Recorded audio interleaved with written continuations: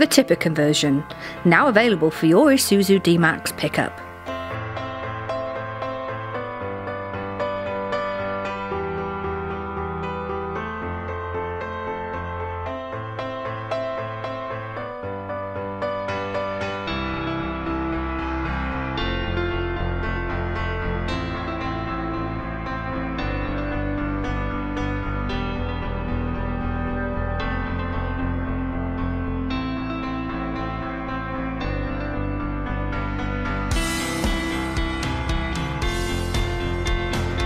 This new package replaces the traditional load beds and will take around four weeks to complete.